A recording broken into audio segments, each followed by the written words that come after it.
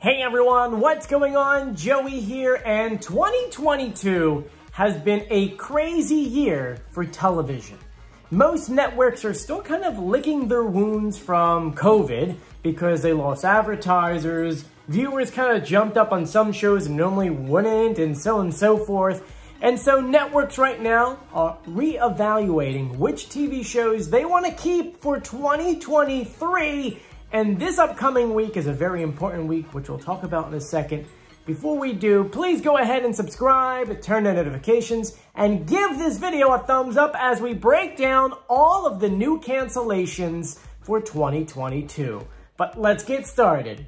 For those who don't know, coming soon, very shortly, is Upfronts Week.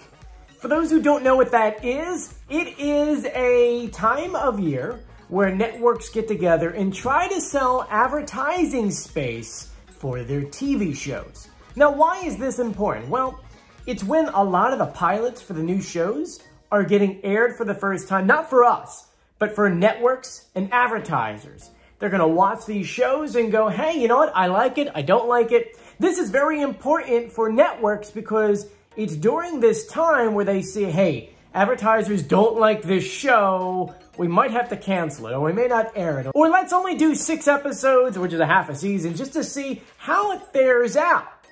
Well, it is also during this time where networks look at the ratings of other shows and say, you know what, that's really not doing well, we're not going to make money on it, let's cancel it at the end of this year, or maybe canceling it halfway through the year, or you know what, let's end it right now. Or it's a time of year where they let networks and advertisers know, hey, look, we're not bringing this show back. It costs too much, so on and so forth.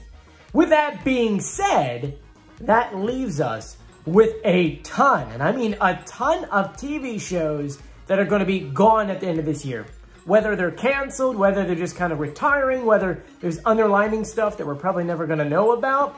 There is a massive list this year. So I wanted to go ahead and take a video just to kind of break down these shows. We'll break them down in different categories. You know, we've got talk shows, dramas, comedies, reality TV shows, and um, there's going to be some on this list that you may not even know at this moment because they really haven't, they've come out and they said this is going to be the end or maybe they haven't even said it yet but this is the week we're starting to get the news. We're gonna start off with the veteran dramas. There's two different kinds of dramas. You've got like those that have been on for a while, they get like a massive rating hit, and you get other ones that are kind of like rookie dramas. So let's start off with the veteran ones, including The Walking Dead. That's no surprise. They announced it a while ago. Of course, you get the spin-offs.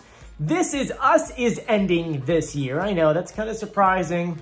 Next is, and I can't believe this because I love this show, The Marvelous Ms. Maisel. I don't know why Amazon is getting rid of it. I think that maybe it just kind of ran its course. How long can you kind of go on with this? Though it would be kind of cool to get a spin-off of the other characters. So uh, Amazon, I think that'd be a good idea. Next is Atlanta. I love that show. Donald Glover, he does a great job. Uh, but I can kind of see the character is kind of stalled a little bit in the progression, so I kind of understand that one. Stranger Things, I feel like that one should have ended a while ago.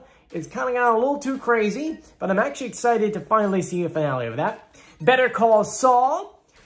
If this is ending, I wonder if another Breaking Bad series is going to come. Something off of it. I don't know. You know, you have to say to yourself, what are the actors doing right now? Hmm, not too much. So you never know. You never know and Peaky Blinders, which uh, this one kind of makes sense. As you know, one of the stars did pass because of, uh, well, let's just leave it at that. And so uh, it's sad to see that one go.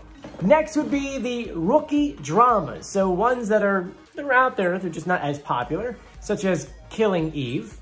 Ozark, which I do like that one, but I also feel like if you haven't watched the season finale, yeah, yeah uh, that's kind of how I'm going to leave it. I feel like it was kind of rushed, but that's the way Netflix does their stuff. Next is Queen Sugar, Ray Donovan, and Bull. And I always like Bull because they always filmed it in my old neighborhood in Queens. So we'd always go by and watch them film.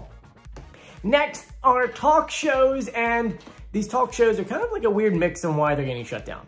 Maury's getting shut down, and that show should have been gone a while ago. You know, Ellen is getting shut down for obvious reasons. The Wendy Williams show is getting shut down because of her health. Though this past week she announced that she's going to be coming back.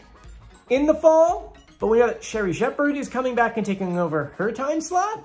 So that's kind of weird. Dr. Oz is done.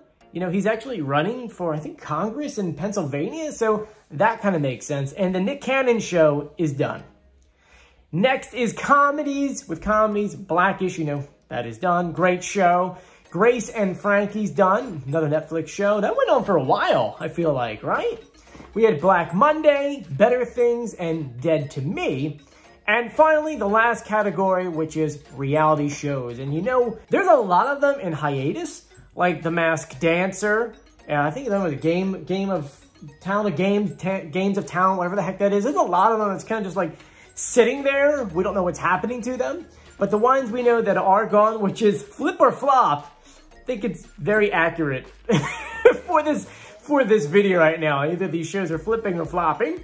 We have Ellen's Game of Games. Well, she's pretty much exiting everything. And she was also an executive producer of The Masked Dancer. So maybe that's why that show's not coming back. We have Pooch Perfect and Small Fortune.